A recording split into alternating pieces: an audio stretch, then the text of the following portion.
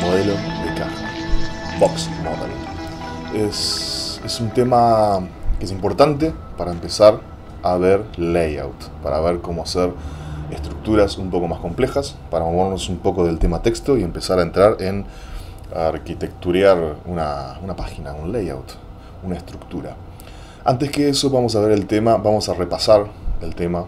En realidad lo dije muy por encima antes y ahora vamos a verlo un poquito más eh, consistentemente. El tema de display eh, block y display inline. Elementos de bloque y elementos inline. Tenemos este documento, uno de los primeros que habíamos visto, que no tiene absolutamente nada de CSS. Es un documento eh, virgen. Y es importante porque es importante que ustedes vean que ya los elementos de por sí tienen ciertas características por defecto. Por ejemplo, estos elementos P son elementos de bloque. Este elemento H2 es un elemento de, de bloque. ¿Qué características tienen estos elementos? Los elementos de bloque tratan de ser lo más ancho que ellos puedan, siempre y cuando sean contenidos por el padre. Pero tratan de ser lo más ancho que puedan.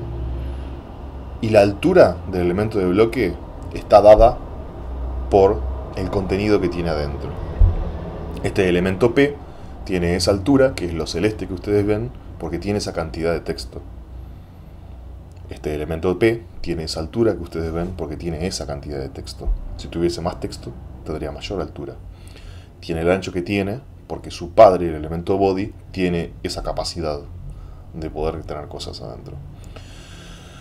Y todos estos elementos están, la naturaleza de un elemento de bloque, cuando vos lo tirás allá dentro del body, es ir hacia arriba. ¿Mm? Y después, el segundo elemento trata de ir también hacia arriba lo más que pueda, pero como está el H1, él, con mucho respeto, se pone atrás. Es como que están haciendo una fila para el banco, una fila eterna, eh, interminable, lo cual es una forma muy triste de ver el HTML, porque sería torturoso hacer una fila interminable. Pero bueno, estos chicos están ahí, estos chicos están ahí haciendo fila por nuestro beneficio, por el beneficio de la humanidad. Entonces tenemos estos elementos que están ahí, tratan de ser lo más anchos posibles, tratan de ser tan altos como la, como la cantidad de, contenido que tengan, excepto que explícitamente nosotros le diésemos una propiedad width o una propiedad height.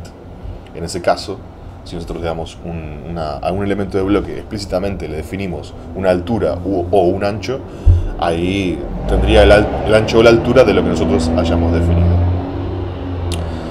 Estos son los elementos de bloque. Ah, otra cosa particular que muchas veces escribe, y yo no sé si estoy tan de acuerdo, pero digamos que ocurre un salto de línea antes y después de, que termina el elemento de bloque. Eh, no, no sé si decir que un salto de línea es la mejor forma de verlo. Pero bueno, pasa algo así. Es decir, el elemento de bloque trata de estar en su posición solo, ¿entendés? Sin nadie a la derecha ni a la izquierda ni nada. Tipo, estoy acá y no me jodan. Display, display inline, elementos inline. Elementos inline como por ejemplo este elemento strong que está acá. El comportamiento de un elemento inline es que él trata de ser tan ancho como el contenido que tenga. El elemento de bloque trataba de ser tan alto como el contenido que tenga. El elemento inline trata de ser tan ancho como el contenido que tenga. No genera ese salto de línea al principio y al final de, su existencia. Y este elemento puede simplemente fluir con el texto. Puede fluir con el texto. Fluye. Puede fluir con el texto. Por eso puede haber un elemento P, que es un elemento de, eh, bloque, que tenga nodos de texto, técnicamente hablando. Y entre medio un elemento strong, que está ahí contento sin, ningún tipo de, de, problemas. Si este elemento strong, por ejemplo, lo convirtiésemos en un elemento style, un elemento de bloque, pasaría algo así. Una, comunicación verbal. Y este elemento, de vuelta, trataría de ser tan alto como su. tan, tan ancho como su padre, que es el elemento P. Trataría de ser solamente tan alto como el contenido que tiene. Eh, y, y, haría esos saltos de líneas. Pero como no lo es, es un elemento de inline, tiene este comportamiento. Si yo agarrase este elemento P, por ejemplo, y lo convirtiese, vamos a agarrar este elemento H3, y lo convirtiese en un elemento inline, style, display, inline. En este caso no pasa nada, ¿sabes por qué? Bueno, el ancho cambió, se dan cuenta. El ancho cambió. Este, ahora es solamente tan ancho como el, contenido que tiene. Pero como está rodeado por dos, por dos elementos de bloque, este elemento es un elemento de bloque y este elemento también es un elemento de bloque, eh, los enters son dados por ellos. Por más que él sea inline, lo único que va a pasar es que se va a achicar. Bueno, ahora que vimos más o menos un poco la diferencia entre elementos de bloque e inline, vamos a ver un poco sobre, acerca del modelo de caja. Y es importante saber esta diferencia porque, porque el modelo de caja, la, forma más fácil de entenderlo es analizando elementos de bloque. Hay elementos inline, es decir, los elementos inline también tienen un modelo de caja, pero es diferente el comportamiento. Los márgenes se, se no, no importa. Vamos a ver una de mis famosas analogías bizarras que espero que les aclare un poco el tema de... Que les aclare no, es como una introducción en realidad al tema de este, Box Model. Tenemos aquí dos niños alegremente existiendo con una particularidad. No sé si lo notaron, pero tienen estos trajes de sumo.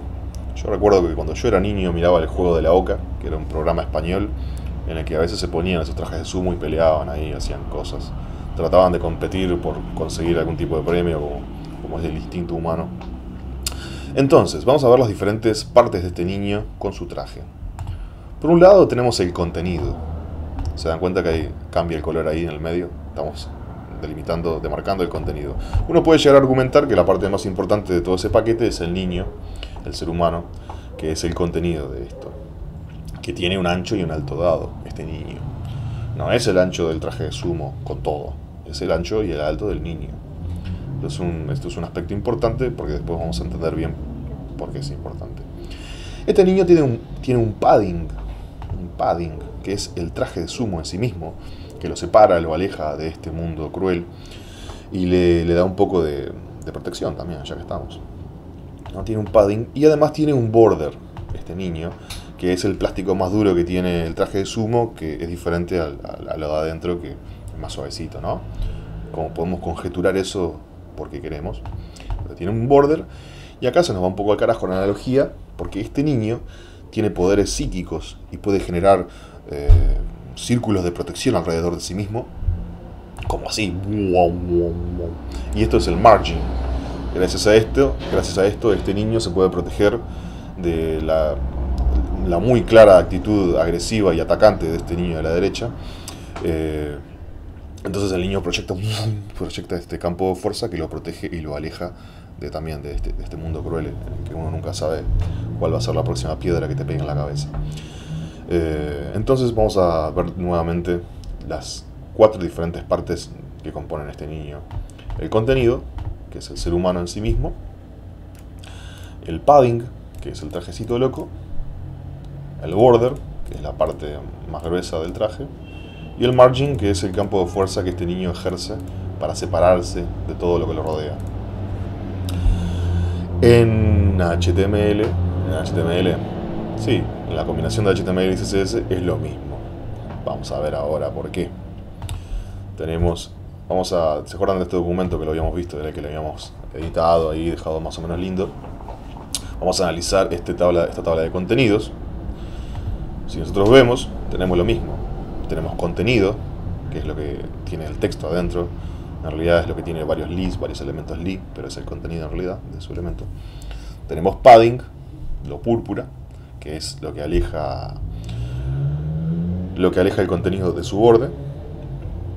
Tenemos el borde, que en este caso es imperceptible. Vamos a, vamos a cambiar un poquito esto. Margin, piqui. Y vamos a aumentar el borde. Así nuestro ejemplo queda más.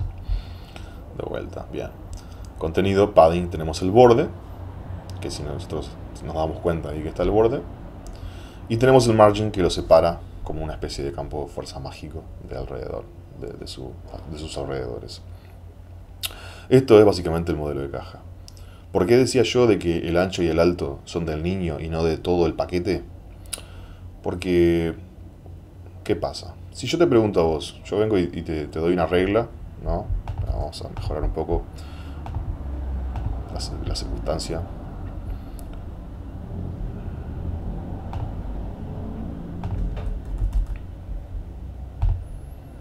Si yo te doy a vos una regla y te digo, medime cuál es el ancho y el alto de este elemento, ¿no? Tu instinto va a ser medir de acá a acá, ¿no? Porque claramente esto es un solo socotroco, es una sola unidad de, conceptual. Esto arranca acá y termina acá. Este es el ancho. Y la altura es de acá hasta acá, ¿no? Eso es lo que tu intuición te diría. Pero no es así la cosa. Por defecto, el modelo de caja tiene un, comportamiento en el que el ancho y el alto es solamente lo que ustedes ven ahí como lo celestito. Ese es el ancho y el alto. Lo otro es el padding, y después tenemos el border, y después tenemos el margin. Pero el ancho y el alto es eh, según el contenido solamente. Eh, esto al principio puede generar algunas confusiones. Hay un atributo CSS que cambia este comportamiento, y, pero eso lo podemos, vamos a ver después que entendamos realmente cómo es esto por defecto. Vamos a ver atributos CSS, propiedades CSS relacionadas al modelo de caja. Ancho, width, puede ser auto, puede tener una unidad. ¿Se acuerdan que habíamos hablado de los sems, del porcentaje de los píxeles? Entonces, por ejemplo, width auto es, es muy utilizado para centrar un elemento. En este caso tenemos el body que está centrado. Y eso lo consigo haciendo margin picky auto es decir, auto de derecha y auto de izquierda, me, brinda esa capacidad de centrado. Tenemos un ancho que puede tener un valor dado, que es lo único que hace simplemente modificar eh, el ancho del elemento. Si yo, yo le doy un width de 20 ems, va a tener 20 ems. Se lo puedo aumentar, se lo puedo achicar. Nada, nada muy misterioso. Después tenemos min width y max width. ¿Qué características tienen estos? Con, mid width, con min width, vos lo que estás diciendo es, por lo menos tenés que tener este ancho. Es el mínimo, lo mínimo que te pido, por favor, este ancho tenés que tener. Eh, puede ser más grande que esto, pero no menor que esto. Es el mínimo ancho que vos podés tener. Y maxed width está diciendo, está todo bien, pero hasta acá, hasta acá llegó mi amor, hasta acá vos podés ser de ancho. Puede ser más chico si querés, pero no más ancho que esto. Entonces, max width es muy útil eh, para definir elementos contenedores que se pueden achicar si, su, este, si el viewport se achica también. Por ejemplo, en este body, siempre de tener width tuviésemos max width, vamos a escribirlo bien, no cambia nada, ¿no? Aparentemente no cambia nada. Pero si yo achico toda esta ventana más allá del tamaño que él puede tener, se dan cuenta que body se sigue achicando con todo el contenido, con todo el viewport y todo lo que está adentro, como no tiene un ancho explícito, también se achica y fluye. Fluye como por defecto un elemento lo hace con su contenido. Ahora, si yo vuelvo esto a la circunstancia anterior, en el que el width está explícito, no es ni max width ni min width, y yo empiezo a achicar la ventana, ¿qué pasa? Scroll bars. Se generan scroll bars. Esto es el, no sé, el 90% del internet tiene este comportamiento, tiene anchos fijos que generan estas scroll bars. Ancho. Alto. La misma circunstancia, nada más que en vez de ancho, alto. Tenemos un elemento al que le podemos dar un ancho explícito, height de 20 ems. Podemos achicarlo con su cosa. Y tenemos de vuelta min height y max height, que es lo mismo que en el caso del ancho. Min height, por lo menos tiene este ancho. Max height no puede ser más alto que esto. Eh, en caso de los textarias, que pueden ser, este, que tienen automáticamente un drag and drop, voy a crear uno on the fly acá, porque soy un tipo muy incapaz. Acá.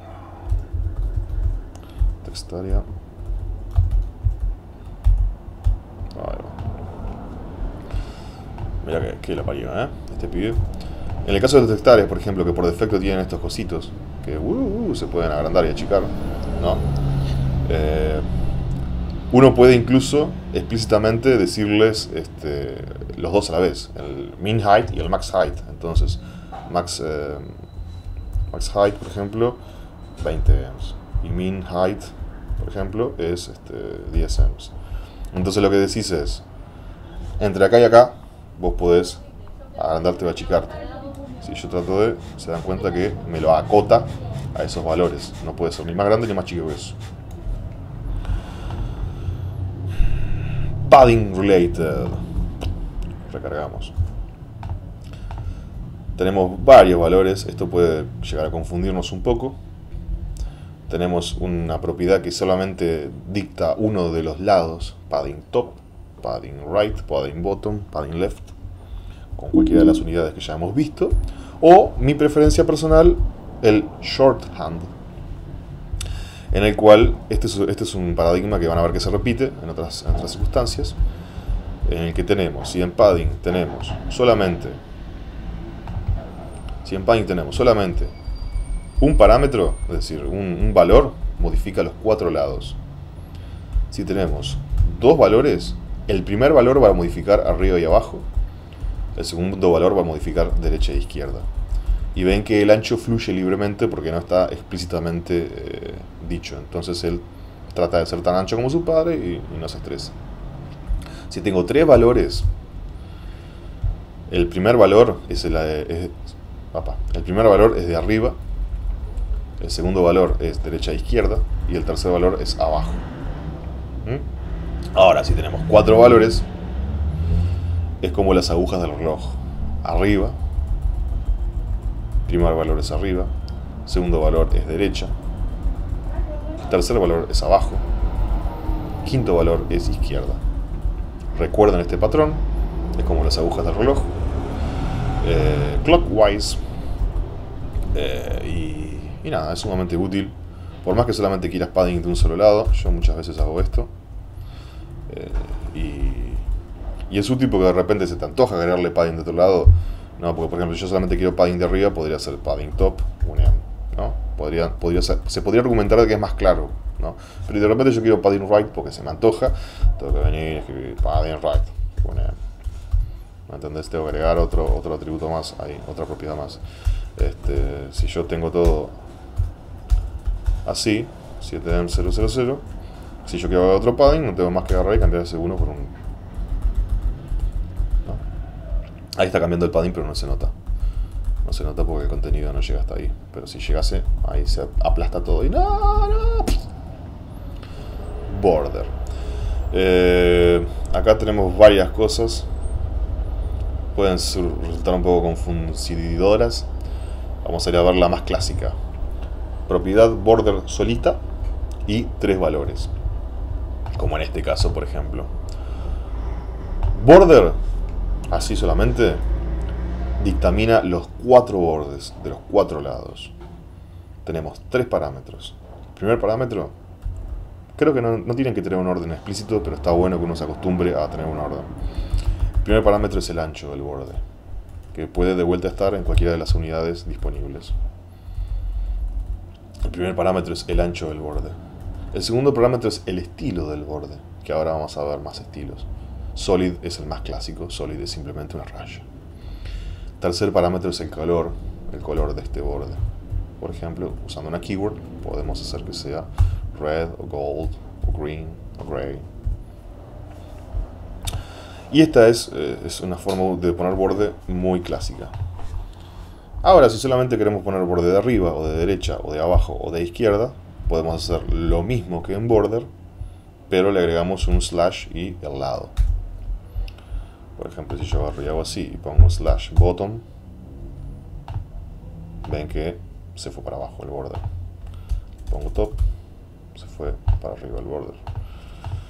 Le saco y queda todo así.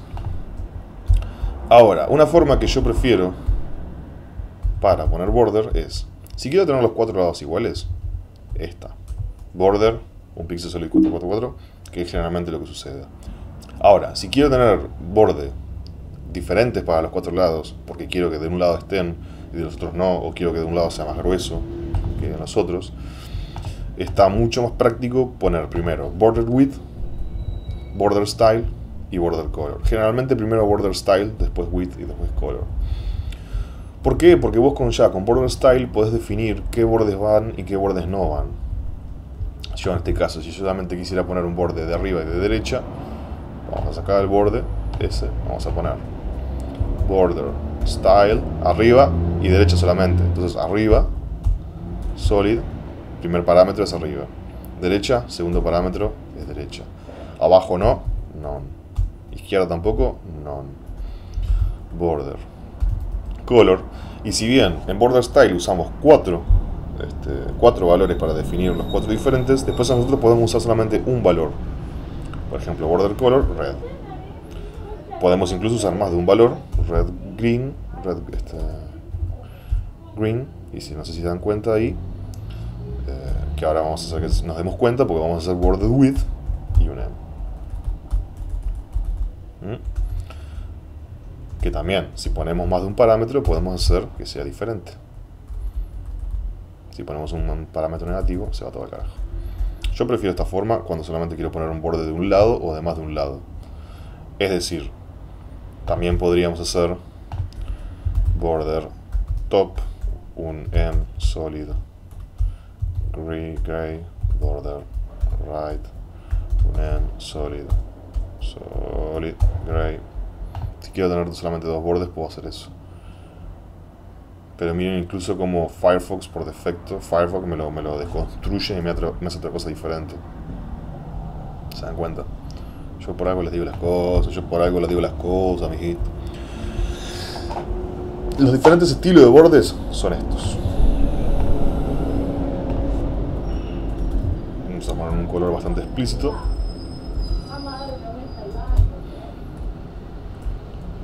Non, no hay borde. Hidden, está escondido el borde. No sé para qué está hidden, pero está. Ah, no, porque claro, hidden te ocupa lugar, pero. Pero está hidden. Está bien. Dotted. A veces se usa dotted, así queda un poco asqueroso. Así queda un poco más lindo. Eh, dashed cuando recién, cuando el, boom del CSS arrancó, todos estos bordes estaban por todos lados. Ahora es muy raro verlo. Pero está, Dashed existe. Solid, el clásico Solid. Double, se puede llegar a, usar. Double, queda un, doble, un borde doble ahí. Y acá empezamos a, entramos en el terreno de Internet del 1995. Groove. Mira lo que es eso. Como para una tabla del 95. Ridge, que es lo mismo pero con la luz del otro lado, o puede decir que en vez de así, está así. Eh, inset y outset. Estos últimos, como podrán imaginarse, no se usan nunca. Pero como siempre les digo, existen. Y está bueno saber que existen. Margin con margin también tenemos varias formas de poner el, margin de la, forma que más querramos. Margin top, margin right, margin bottom, margin left. Podemos hacerlo de forma explícita.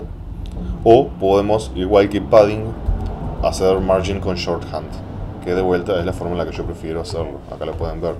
Margin 1M0 significa que solamente tengo margin de arriba y de abajo. Lo puedo agrandar, cosa. Si le agrego otro parámetro, de derecha a izquierda. Si le agrego otro parámetro, es solamente abajo. Ah, ah, y si le agrego un último parámetro es arriba del reloj mágico. Ya estamos prontos, estamos prontos por hoy. Eh, como siempre les digo, jugueten, agarran estos valores y, rompan toda la internet. En el próximo capítulo vamos a ver más valores relacionados al layout. Vamos a ver este, algunas inspiraciones que yo tuve temprano en mi carrera para aprender CSS. Vamos a coparnos un poco eh, con el tema del layout, vamos a ver las posibilidades que tenemos. Así sabemos, por ejemplo, qué wireframear, qué cosas son posibles wireframear. Vamos a ver un ejemplo muy interesante de eso. Y vamos a avanzar un poco más con el tema del layout. Eh, el, box model está relacionado al layout, pero no es layout en sí mismo. Pero es importante entender cómo reacciona el margin, cómo reacciona, cómo reacciona padding, border, eh, y los anchos de los contenidos y todo esto. Son temas interesantes les recomiendo que agarren este documento o cualquiera que, encuentren por ahí y empiecen a juguetear con margin y padding y, cambiar estos parámetros y ver qué pasa. Y se van a encontrar con, con cosas muy interesantes. ¿Ok? Nos vemos en el próximo capítulo.